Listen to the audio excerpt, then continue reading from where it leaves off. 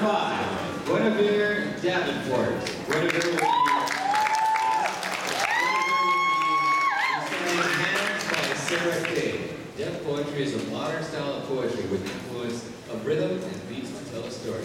She dedicates this to her great grandmother Alice, one of her greatest inspirations to continue her love for poetry and to bring it to life for others to enjoy. Please welcome contestant number five, Guinevere Davenport.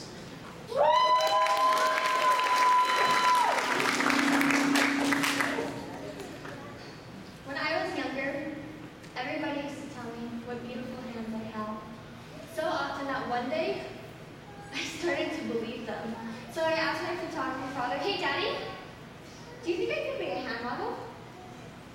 To which he said, no way. I don't remember the reasons why he gave me. I would have been far too upset, but there were too many stuffed animals to hold, too many too many boys to too many years to grow. Hands learn more than the mind does. Hands learn how to hold other hands, how to hold babies and touch old people. They learn how to grip a pencil and mold poetry, tickle the keys of the piano and dribble a basketball. Some people read your palms to read your future. I read your hands to tell your past. Each callous palm, each cracked knuckle is a missed punch or years in a factory. Now I've seen hands clenched in fists, pounding like war drums. Each country sees their fists as enemies and others as warriors. But a clenched fist is just a hand. Hands are not about politics. They're never about politics. This is a poem about love. And fingers, fingers interlocking like a beautiful zipper of her. One time when I was younger, I held my daddy's hands like this, and he said, no, no, no, no, no, no. That's for when you're older and when you're married. This is how we hold hands. Kids high five, and grown-ups shake hands, but you gotta remember not to hold on too long and don't let go too soon and have a firm handshake. when did it become so complicated? I always thought it was so simple. So the other day, my dad looked at my hands as was seeing them for the very first time. And with laughter behind his eyelids and a madness human like mustard, he said, You know, you got pretty nice hands. You could have been a hand model.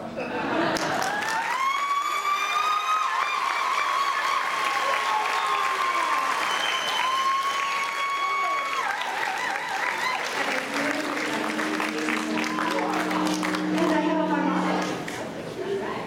We're going to keep going with contestant number six. That is Lexi Ayers.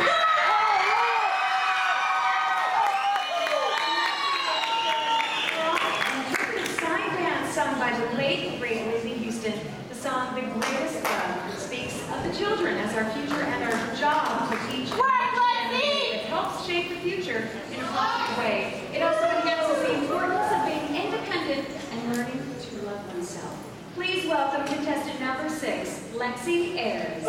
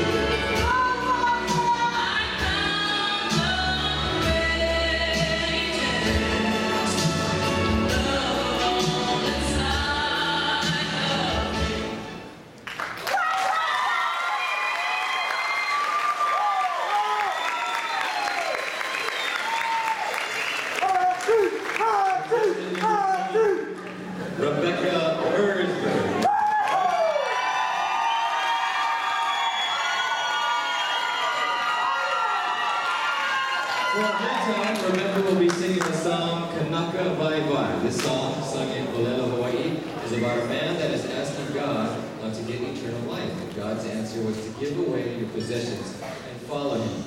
Please welcome in her first public performance, contestant number seven, Rebecca Murphy.